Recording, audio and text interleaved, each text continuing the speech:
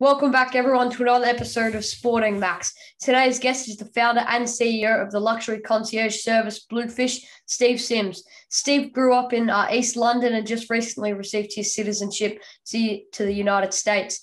Welcome to the podcast, Steve. It's an absolute honor to have you on. How you going? Ah, the pleasure's mine. Pleased to meet you, man. Oh, it's awesome to meet you too. Now, can you tell me a bit about your childhood and what growing up in East London was like for you? Uh it's funny how you you you kind of change your perspective. But mm-hmm. if you asked me that question when I was 19 years old, I would have said I was very poor, I was very bitter, I was very angry. I was doing jobs that were very rough.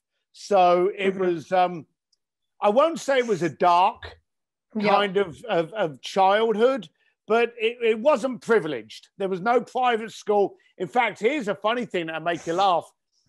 Uh, it wasn't until I was 18 years old that we had our first ever mm-hmm. takeaway food. Wow. We, yeah. So here in America, you you, you just have pizzas, Chinese, yeah. Indian. You don't think about it, but we never had that because we couldn't afford outside prices. Mm-hmm. Um, so I was very bitter growing up, and I thought it was very bad. And as I say, the key is if you'd have asked me if I was 19 mm-hmm. or when I was 19. When I hit my early 20s and my enthusiasm was getting me into different positions, different people, different networks, mm-hmm. I suddenly realized that I was never hungry. There was never a night I wasn't tucked into bed. Mm-hmm. Um, the lights would always go on, the water would always come.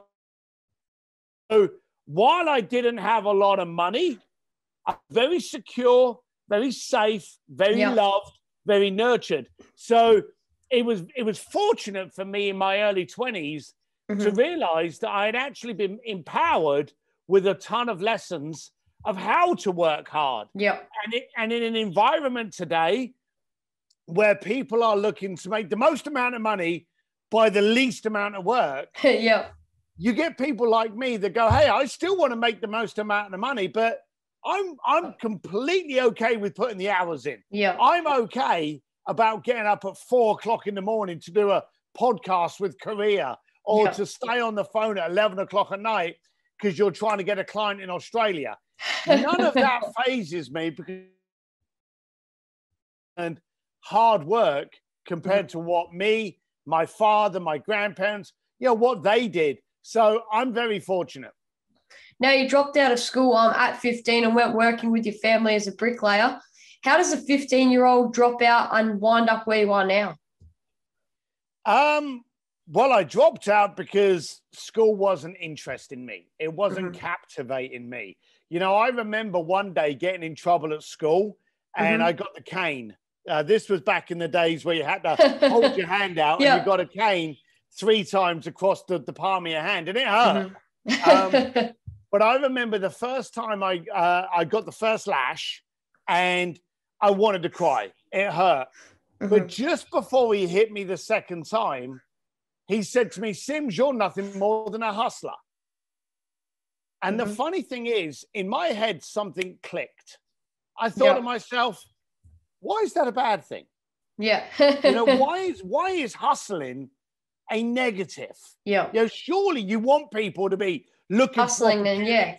Yeah. If someone comes into a job today and says, Hey, I tell you now, mate, I am the biggest hustler you'll ever meet. You're going to want me on your side. People are going to take you. employ them. Yeah. Yeah.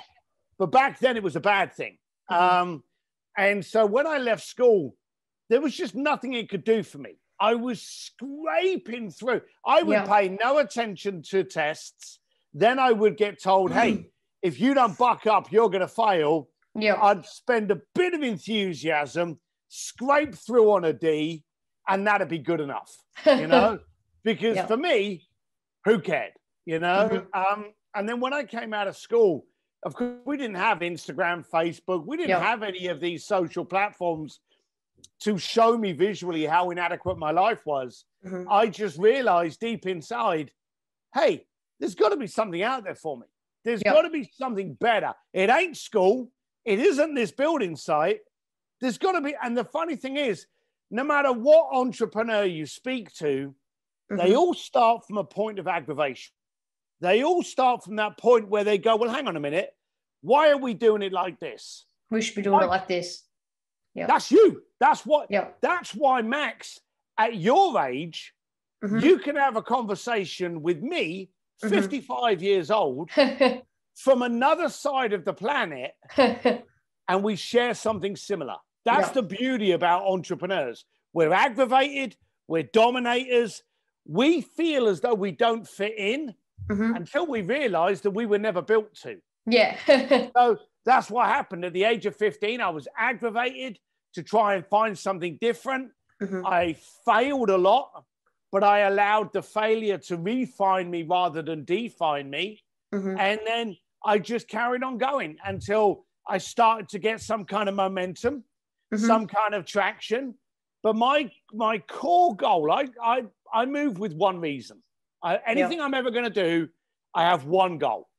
And my goal when I was younger was I want to meet someone rich mm-hmm. and I want to ask them, why are you rich and I'm not? Yeah. You know, I don't mind getting up at 4:30 in the morning. I don't mind going to bed at midnight. So I'm happy to put the hours in. Mm-hmm. Hey, I don't cry when I get smacked. I don't cry when I fall over. So I'm okay with hard work. But why are you making a fortune out of it and I'm not? And that yeah. was my goal. And so I ended up needed just so I could get into that world and mm-hmm. ask him that question. And I went from a bricklayer to ending up being this like concierge to billionaires mm-hmm. to now in marketing and branding for some of the biggest companies in the planet and some of the smallest entrepreneurs in the planet. So it's been a beautiful journey. You met your wife Claire uh, when you were 16 years old and have three children. What were these years like for you um, of starting a family and growing and raising a family? I'm not sure if there's anything more difficult than raising a family um, yeah. because kids don't come with a manual. Um, no. and, and, they're all they're all bloody different. Uh, I mm-hmm. you know, I got three kids. Yeah, I know that from us, mm-hmm. but they're three completely different people. So it's very very strange. Uh, it's very heart wrenching. It's very upsetting. It's also very rewarding when it goes right. Mm-hmm. Um, but we didn't know we didn't know anything. Yeah. And the funny thing is, a lot of people today they want to start a new job, they want to start a new project, they want to start something. Mm-hmm. And the first thing they do is they sit down and they start making out plans. Yeah. And they start working out, you know, their assets. They start working out their finances. They start working out what they need. They start working out their marketing budgets. There's all this planning and mm-hmm. preparation mm-hmm. that comes out. Okay. There's not a single business plan that was written in 2019 wow. that says we're going to come out with a brilliant idea and then come yep. March 2020, we're going to be screwed for a year mm-hmm. because of the world's first pandemic. No one knows these things. I always say that if your business plan can be written on anything bigger than a postcard, mm-hmm. it's too big. Yeah. Because you don't know what's happening next month. Mm-hmm. You don't know what's happening next year. You don't know what's happening in five years' time. So I believe that there's a concept of get going, then get good. So mm-hmm. my life has been, hey, I'm going to try this. I start it, something goes wrong, and I go, well, okay, great. I now know what's mm-hmm. wrong. Like me and you are talking now on a podcast. Yeah. I, I have a podcast called The Art of Making Things Happen. Yeah. And I can guarantee you, Max, the first time you did a podcast, it was horrible. Yes, it was. because every time an entrepreneur does something, the first time, it's okay. terrible. Yeah. Compared to what it's going to be 12 months later. Mm-hmm. Now, when you realize that the first time you do anything is going to be rubbish, yeah. it allows you permission to just try different things because mm-hmm. you're no longer going for perfection the first time. You're giving yeah. yourself permission to try. I remember my first podcast, I had a bad microphone. Um, I didn't know how to have a conversation. I didn't mm-hmm. know how to host a show. I didn't know how to upload it. Um, and I remember we did we did 18 shows because a friend of mm-hmm. mine said, record a block of shows mm-hmm. and then release them at the same time. That yep. that'd be a good way to do it. Um, I released. I uh, we did 18 shows. We kept the last 3 mm-hmm. The first 15 was so appalling that we were like, I am never releasing those. now, here's the funny thing: we thought the last three were pretty good mm-hmm. until 80 shows later, you realize the first three were just as bad. um, but the first ones that we burnt and hid, mm-hmm. I don't even want to. I don't even want to wonder what they sounded like. Yeah, they must have been terrible. So my point is that I believe that when you give your permit, you give yourself permission to be bad at something. Mm-hmm. It allows you to try so many different things. Yeah, so absolutely. When, when you know it's going to be bad, when you know it's going to be rough, and you're fine with that, mm-hmm. that's a good place to be. Now you worked uh, as a stockbroker in London, um, and um, for a few months before transferring to Hong Kong, not even lasting a week. Uh, what happened here? So I got away with it a bit in England because mm-hmm. there were a lot of people, and when I landed in Hong Kong, I lasted one day. Um, I I'm no good with money. Mm-hmm. I'm no good with figures. I'm no. Whenever someone says to me, "Oh, let's do this and plan it," mm-hmm. I grab my phone for the calculator, and nine times out of ten, instead of actually calculating it myself, I phone up my financial person and say, "Right, get over here. We're doing some planning," and I bring them in. I I think one of the first good things about any entrepreneur is to realize what you're not good at mm-hmm. and then ignore it. Yeah. You know, when you realize you're not good at marketing, hire someone to do your marketing. When you're not good, see, I, I I believe now I'm okay as a host on a podcast. Yeah. Okay. But I don't want to edit it. I don't want to upload it. I don't want to spice it. I don't want to equalize the video. I don't want to mm-hmm. do any of that.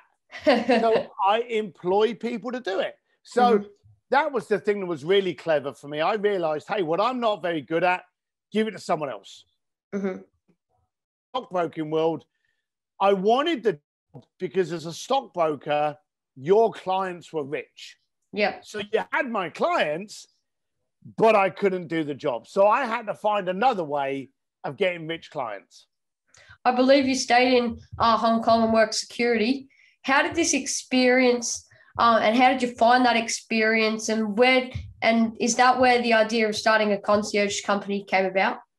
Yeah, absolutely. Uh, you say security, that's more glamorous than it actually was. Um, mm-hmm. I was I was trying to get a job. I'd been fired from the stockbroker's position. I was mm-hmm. trying to get a job in Hong Kong. No one would take me. I'm a big, ugly fella. For people that can't see this,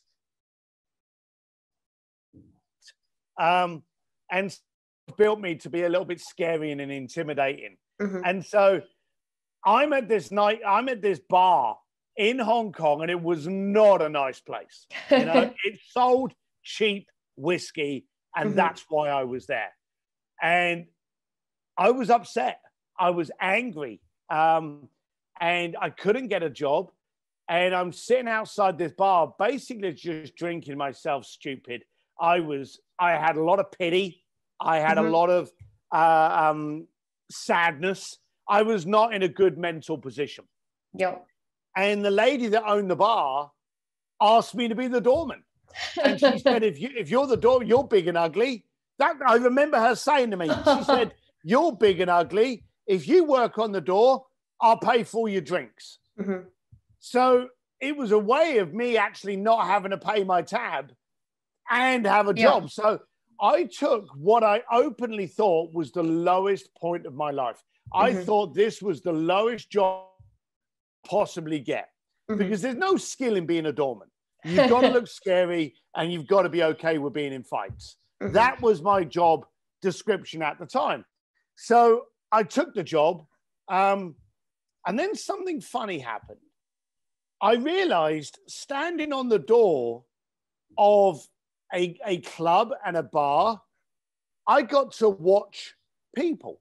Mm-hmm. I got to watch how they acted. I got to see how poor people, because I was poor, mm-hmm. how poor people pretend to be rich.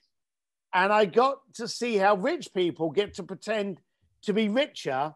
And then I got to see how the really rich people acted poor. You know, it was really well. If you look, if you look at Mark Zuckerberg, mm-hmm. Steve Jobs, these people look as though they're poor. Yeah, Mark Zuckerberg openly says that he buys all of his clothes from Gap. so it's very strange how people are, how they think, how they connect with each other. And it became a great education for me. And from there, I got to deal with people who pretended to be rich, and I got to speak with people that were rich. Mm-hmm. And that's where it started. I realized that I needed to see how I could help these people. And so I started getting them into parties, into clubs. At the early stage, I was a good doorman. So I got to be the doorman of some pretty good parties and I would bring these wealthy people in as my guests and mm. get them to talk to me. I didn't do it at the beginning to make money. Mm-hmm. I did it at the beginning to increase my connections. Yeah. Um, and it worked well for me. So what were those first few years um, of getting um, Bluefish sort of off the ground like? Um, that's a very good question, Max, and a very weird one because I wasn't trying to get Bluefish off the ground. Mm-hmm. People have to understand where did Bluefish come from. I started throwing my own parties and I started giving people passwords. And one of the yeah. passwords was Bluefish. So we hadn't put any thought into it. I never thought this would blow up into a big concierge. You see, my yeah. concierge, my company ended up being the company that sent people down to see the Titanic. Yeah. Sent them up into space. They used to walk the red carpet of every award show in the world. they used to go to the Monaco Grand Prix, the Paris Fashion Week, mm-hmm. Sir John's Oscar party. I never expected this to last past the first party. Mm-hmm. And then when I threw a second party, I thought, well, that'll be the last party. Six months later, and I'm taking over mansions and yachts and penthouses. I'm thinking, well, I won't be doing this anymore. So I never ever thought it mm-hmm. would be anything. In fact, quite openly, I used to say to my wife, look, I'm building up a network so I can mm-hmm. go to my network and get a job. Yeah. And it wasn't until about seven years later that I still thought that. That my, my wife said, You have a job. You just built it yourself. And I was like, Yeah, I did. And we had never realized. You see, mm-hmm. sometimes you can get so focused at the tree, mm-hmm. you fail to realize you're in a forest. Mm-hmm. And that's what happened to me. I was so focused on building up connections with rich people, I hadn't realized I'd actually built up my own industry. In yeah. fact, we launched the world's first concierge firm. And I'm going to arrogantly say, and I will challenge anyone to deny it, my company was the instigator mm-hmm. for the for the for the private concierge industry that it is now. Um, now I've read that you've made like the most extraordinary things happen. Um, for example, a private dinner for six at the feet of Michelangelo's David. Um, dinners in Italy by uh, while being serenaded by Andrea Bocelli. Um, and underwater tours um, of the Titanic. Can you tell me about these sort of experiences and how you've made them happen? Um, wealthy people don't want watches. Mm-hmm. They want experiences. They want stories. They want memories. They want emotions. I learned that very early on. Okay. Anyone mm-hmm. can get a Ferrari. If you've got half decent credit, you can get a Ferrari. Okay. Yep. But you can't close down a museum in Florence and have a dinner party with Andrea Bocelli. Mm-hmm. So I realized that I was, there were two things that I had. One, I had a stupid imagination. Mm-hmm. You know, I would imagine these incredible experiences, mm-hmm. and as long as you could afford them, I would make them happen. Yeah. Two, I was ignorant. Okay. Mm-hmm. And ignorance is a good thing. You see, as you get older, and I'm telling you this, Max, mm-hmm. people are going to impose their own fears on you. Yeah. They're going to say to you things like, "Hey Max, you could never get Steve Sims on your podcast. Yeah. you could you could never do this. You're never going to be a you're a good lad, Mhm. but you're never going to be able to do this. Yeah. And what you'll recognize is the people that are telling you it can't be done are scared that you're going to do it and Mhm. prove them inadequate to be able to. Yeah. Okay. And so I started looking at the people. Why can't I do it? Just because you can't, Yeah. why can't I? So I was ignorant to it ever going wrong. Uh, Yeah. and even when it did go wrong, I'd be like, oh, well, what else can I do that's better?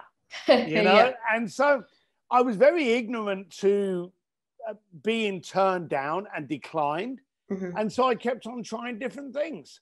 And uh, it worked. Uh, Yeah. The more I tried, the more it worked.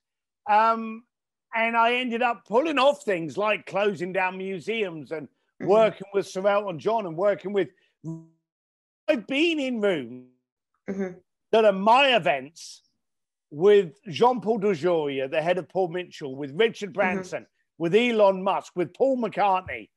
And I've been stood there and I've gone, huh, how did I pull this off? and it's even surprised me, you Mhm. know, yeah. but I never stopped going Mhm. until I achieved it. And then I'd be like, wow, I can't believe I did this. Yeah. And so, and so that was the way it went. I just kept on going and going and going until I achieved. Now you mentioned before that um, Bluefish was named as the sort of concierge, um, the official concierge of the New York Fashion Week. You guys also did the LA Fashion Week.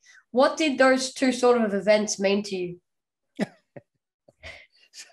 I laugh because the New York Fashion Week was um, the biggest fashion event in North America, Mhm. and it was one of the pinnacles. Got the New York Fashion Week, the London Fashion Week, Paris, Milan. Yeah. Those are the big ones, and then Mhm. you've got smaller ones. Like, no disrespect, but most cities have a fashion week hmm but the Minis, the uh, um, I know the New Orleans Fashion Week is never going to compare to the, to Yeah. Paris Fashion Week. Um, Yeah. and the uh, the Indian Fashion Week. You know, just that every country and every city has a Fashion Week. Mhm. Um, but those were the big ones. And when I got the New York Fashion Week, I was quite excited hmm and, until I realized how much ego is Mhm. in that tent. It used to be in the Bryant Park tent in New York. And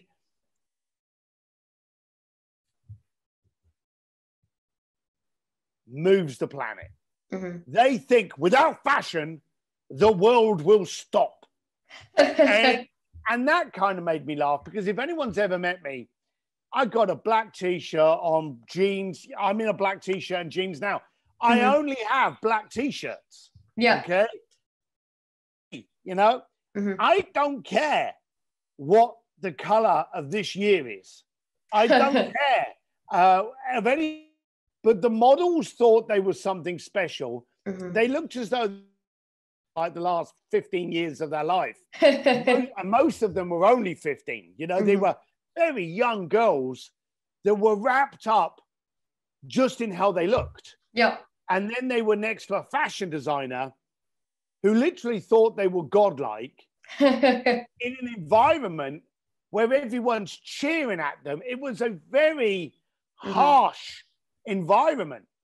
And so we were the official concierge for the New York Fashion Week, which was um, was interesting, revealing, and funny because I didn't take it seriously. yeah. And then we got asked to look after the LA Fashion Week, which was a joke.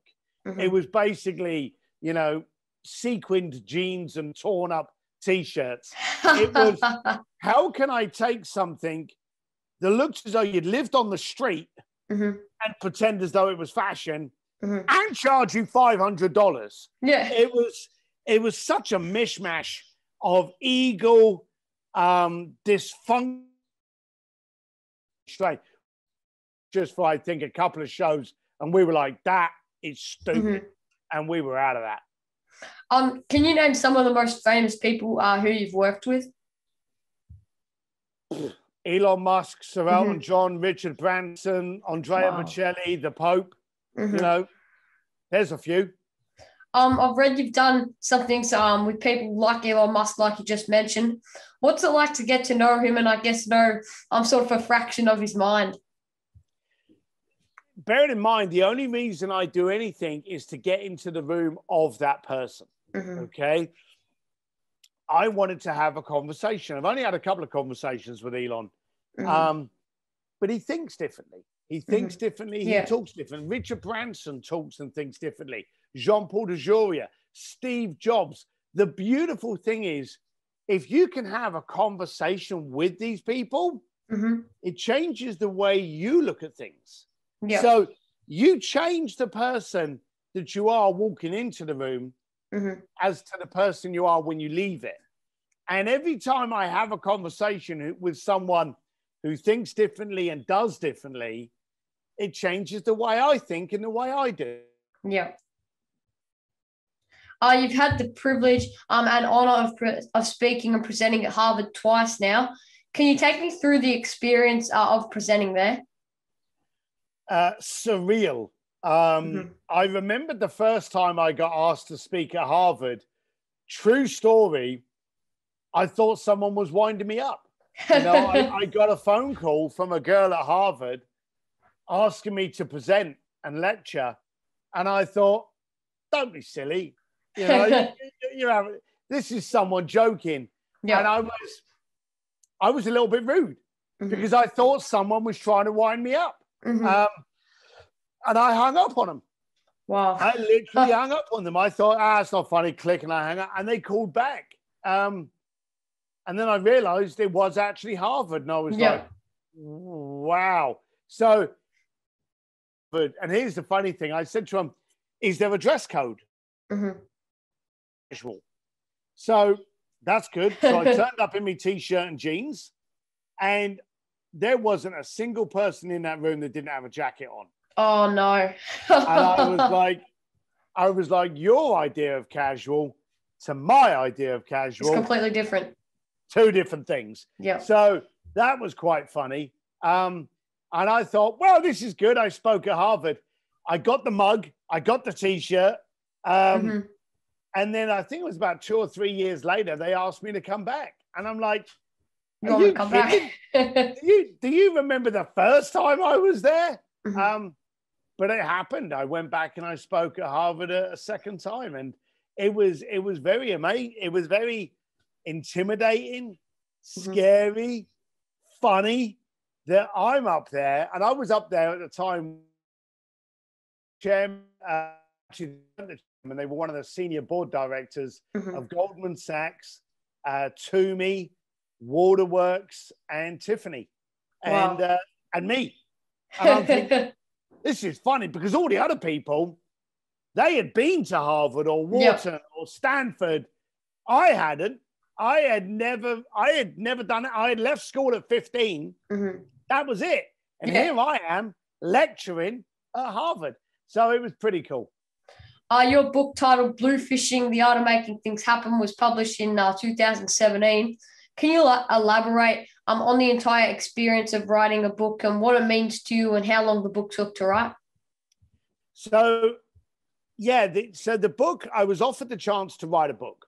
Mm-hmm. And more importantly, I was paid. Yeah. Now, the reason that this is an important thing to understand is that when you write a book, you're either paid to write it or you're paid when people buy it.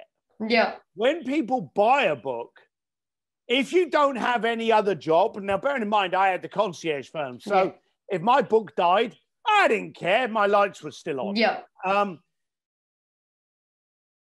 I was paid to write the book as well. Mm-hmm. I thought to myself, I've got no liability. Yeah. I can literally release the book that I want to write, that yeah. I care about, yeah. that I want to speak. So I didn't care if it sold. Yeah. I cared that it was true to my belief, mm-hmm. true to my standards. Beautiful position for an author to be in. A lot of authors sell books to get speaking engagements and coaching mm-hmm. deals and yeah. endorsements. I didn't care. I just wanted to write the book that I wanted to write. So when it was released, I literally thought, this isn't going to sell. No yeah. one's going to believe it. You know, I'm telling people to go left when everyone's going right. Mhm. I'm trying to get you to do different things. You Mhm. know, you're not going to believe it. So for the first couple of months, it didn't do anything. yeah. You know, it, it sold a handful of copies, and I'm like, oh, oh, month. I remember this. It got picked up, Mhm. and people started contacting me, going, "My God, you wrote this, but is this true?"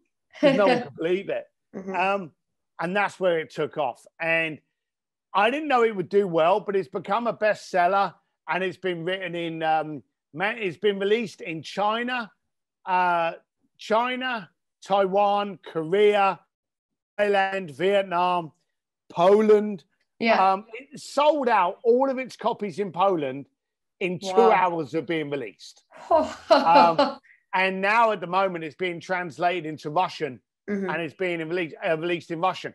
And you can get it an audio version. I read the audio version, so it's Yeah. it's me on that version. It was very scary because it's like it's like Mhm. building Frankenstein. Yeah. Okay, you build it, you let it go out the door, Mhm. and then you no longer control it, and everything it does you're out of control. I've had people, I've had people yell at me going, Hey, my entire business was. And this business I stopped Mhm. because of you. You know, it's just people have had all these reactions. I've had people say to me, Me and my husband split up because of you. And I'm like, wow. How? And they went, We realized that we weren't communicating, we weren't connecting, we weren't relating. So we just decided we're going to call it quits. And I'm like, okay. And then I've had people saying, oh, I gave this to my kid. Look at you, Max. yeah. You've contact. I'm connecting with you Mhm. and because of the book and what it's done for me. So it's a very, very strange thing. So I'm going to tell you, writing Yeah. a book is very revealing as to how and who you are, Yeah. but it's also very shocking as to what it can do. And you've just said it. That Mhm. book came out three years ago Yeah. and it's still making impact. Um, now you've throughout your experience, you've been featured uh, in over 30, 30 TV shows. How do you feel about being on TV? I don't care. Mhm. Um, you know, a lot of people get scared, they get nervous. Mhm. But on all the shows, I turn up with a t-shirt and jean, Yeah. uh, jeans, and I'm like, "Hey, how you doing?" You know, and I'm and I'm there. Yeah. Um, I I think life's a journey, and Mhm. I want to have some smiles. If it caused me caused me any aggravation, if I Mhm. had to pay to be on TV, if I had to do something to be on TV, Mhm. and it caused me some kind of anguish, Mhm. I wouldn't do it. Yeah. So, you know, I want to do these things because I find them interesting. I find them funny. I find them amusing. But then the beautiful thing is, once I've done it, I can then go to my coaching clients Yeah. and teach them how to do it. Yeah. So I've been on a lot of TV shows. I've also not been on a lot of TV shows Yeah. because shows that want me to be on there that aren't the right fit to my message. Mhm. You know, I'm not the kind of people that I want to hang out with. Yeah. So my brand is strong because it's never, ever, ever been diluted. It's Mhm. 110%. And it's great. If you don't like that, great. Mhm. I want to make sure that I am completely impossible to misunderstand. And Mhm. that's why you've got to be really careful where you go and what you do and who you speak to. Uh, I see you've recently got your American citizenship. Can you take me through the process to get your citizenship and what that was like for you and how long it actually took you um, to complete and get your Amer- be an American citizen? So, if anyone hasn't worked out yet, I'm British. Um, yeah. and I've been in America for 21 years. Mhm. And one of my clients who I coach is an immigration attorney. Yeah. So last year, he said to me, Hey, the laws are changing in December. You Mhm. may want to try and get your application in before then, um, just in case. Yeah. You can always refuse it, you can always decline it, but I suggest you try. Mhm. And I was like, yeah, okay. So we applied. Um, the application wasn't a lot because we already had our green card. Mhm. Um, and then it was uh, God, what was it? A month ago. Um, so three months ago, we get a letter going, "Hey, you've got to go to this office. Mm-hmm. You've got to answer these questions uh, within your process for citizenship." Yeah. so, you know, they gave you a link to like these hundred questions. That mm-hmm. out of these hundred questions, they were going to ask you six. Oh wow! And if you didn't get those six right, they would ask you another 4 mm-hmm. so that you got six out of 10. Yeah. Uh, but it was these 100 questions. And the funny thing was, I was talking to my um, American friends and mm-hmm. I was saying to them, um, you know, what's famous about Je- Jefferson, you know, mm-hmm. or, you know, name name the states mm-hmm. or, uh, or, or name, you know, what was the Civil War about or, you know, what was independence? Yeah. A lot of my American friends were going, I don't know. You know? um, but I had to practice these and practice these and practice these. Mm-hmm. And um, then I got to the uh, I got to the uh, government uh, building, mm-hmm. and they asked me six questions, and I got them all right. And they went, "Oh, congratulations!" So, in the room, I was mm-hmm. there ten minutes. Yeah. You know? so and then they went, well, take this letter, step outside. They're mm-hmm. going to swear you in. Mm-hmm. And I'm going to, I was like, what? And you see the movies where you go down to a room and there's 30 other people with you and you pledge allegiance. Yeah. You get a certificate and there's a big ceremony. Well, I'm in COVID. So yeah. they literally walked us out into the car park and there's 10 other people mm-hmm. and they gave us a little piece of paper. They quickly read it because it's in sun, you know, mm-hmm. we're all getting yeah, and, and it's hot. Um, congratulations, here's your certificate. Any questions, contact. Bye bye. And that was it. So really, really quick um, to get it done. But now I go for my passport mm-hmm. in May. Um, but I, I am officially an American citizen. In fact, I'm dual nationality. I'm British and American now. So mm-hmm. it's pretty cool. Uh, your current project is an app called Taste of Blue. Can you tell the listeners a bit more about that? So Taste of Blue is a, is a company that I'm helping marketing. It's actually a uh, um, a travel company, which let's be mm-hmm. blunt, during COVID is terrible. So mm-hmm. my real focus is in um, helping entrepreneurs become better, which is Sims Distillery. Yeah. That's the people with at the moment because quite simply there's no point focusing on a travel company when no one can travel. Yeah. Um, so who are, from your perspective, um, the best clients who you've worked with? Clients that have aggravated. Mm-hmm. You know, people that think they know everything mm-hmm. are always very, very difficult people to deal with. Yeah. Okay. I like dealing with people that are annoyed that are mm-hmm. angry, that want to do something better. Yeah. um, and they don't understand why they can't be doing this, and they they can't understand why their marketing not not working. Those those clients are good. Those mm-hmm. aggravated mm-hmm. clients are my best clients.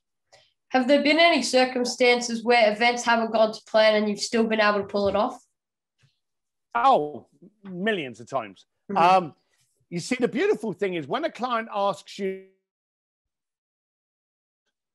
Mm-hmm. Okay.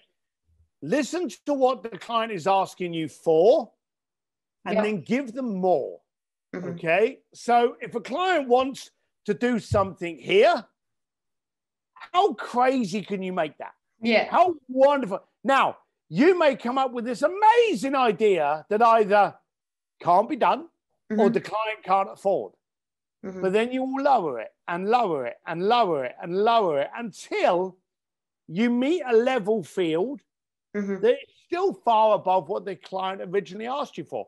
You see, the thing is, have you ever smacked your thumb or caught it in a drawer? Or, yeah, yeah. But you've done that, yeah? Yeah, yeah. Okay. And you're young. Okay. Yeah. Did it hurt? 100% it hurt. okay. Do you avoid doing those things now because of the pain you went through? Yes, exactly. You try to okay. avoid it as much as you can. Okay. But, but if but if it's something like business and you've gone through pain, you've got to try and overcome that fear and that pain. Bingo, boy. Overcome the fear of that Mhm. pain. Now, you said you've hurt your thumb. Yeah. Okay. Can you remember the exact feeling that you actually had?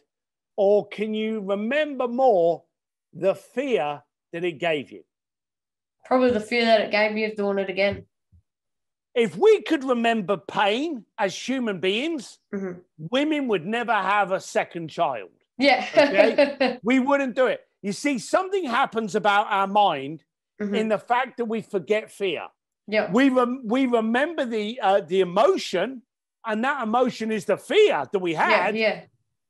But you actually can't remember the exact emotion of banging your thumb Yeah. or, or clipping your finger or trapping your foot somewhere. You can't actually remember it because your body says, if we hang on to that emotion, we'll never do anything again. Yeah. So we, we know we don't like it. We remember the fear. We know in our mind, oh my God, we don't like that because that Mhm. hurt. Yeah. But you physically can't remember the pain that you were actually in at that Mhm. moment. Okay. Yeah. That's the same thing with a no. When I'm trying to do someone and someone says, no, you can't do that, You're gonna I do go, it. oh, well, how can I do it? Yeah. You know? And I keep going forward. I always believe if someone says no to me, I asked the wrong person or the wrong question. Yeah. Don't stop. Yeah. So for me, I've got turned down a lot of times. Mhm. I've got declined. If I could tell you a hundred times that I've Mhm. been declined, Yeah. maybe there's a million. Just like you banging your thumb, Yeah. you know it happened, Yeah. but you can't really remember it. Mhm. So you keep going. Yeah. Okay. And that's what I do. I get turned down a lot. I just don't care. I Mhm. keep going until I achieve. And do you know the funny thing is, when you start achieving great things, great things start happening for you. Yeah. Um, now I want to get into like TV, radio, um, and cover sports worldwide. Have you got any any advice or any contacts that could help me get there sooner? Get you onto TV. Yeah, or radio or things like that. Yeah. Well, for a start, stop doing a turkey shoot. Yeah. Okay. People sit there and go, Oh, could you help me get, you know, TV, podcasts, uh, media, you know, radio? Pick one. Yeah. Okay. Pick the one that's going to work best for you. See, Mhm. here's here's a strange thing. Okay. If I go on TV Mhm. tomorrow, that by millions of people. Mhm. Okay. Let's say, for argument's sake, tomorrow I go on Good Morning America Yeah. and I'm on the prime spot at eight o'clock in the morning. Yeah. and there will be some statistics out there to show how many people were watching that show at eight o'clock in the morning. Yeah. Okay, Mhm. you'd be impressed. Yeah. You know, oh, you on Good Morning America. 10 million people watched you on Good Morning America. Good Yeah. for you. Yeah. Okay. How can I retarget them? Mhm. You can't. Yeah. Okay. But if I went on someone's podcast like Max, Mhm.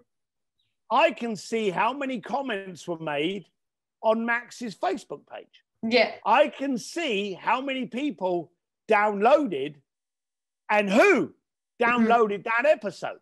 Mhm. I can see how many people have tagged me in the conversation with Max. Yeah. I'm in control of my retargeting. Mhm.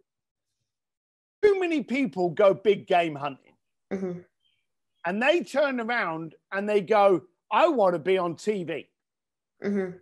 Do you know you can do more damage being on someone's YouTube channel? Mhm. You can have more control being on someone's Instagram live. Yeah. Yeah. Yeah.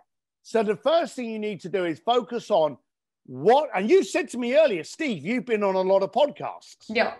Okay. Focus on the platform that can move the needle best for you. Yeah. So before you say to me, hey, Steve, you can do all of these things. Yeah. Yeah, I can, Max. Mm-hmm. But are they the best thing for you? That's your 1st Mm-hmm. question. Yeah. What will move the needle best for you? Mm-hmm. All right. Thanks, Steve, for uh, coming on the podcast today and coming on to have a chat and putting aside sort of an hour or so of your time. Um, it's been an absolute honor to have you on, like I mentioned before. And um, yeah, we'll speak soon. Hey, you, Max. Thanks for having me. Thanks, Steve. Stay tuned, everyone, for some more Sporting Max.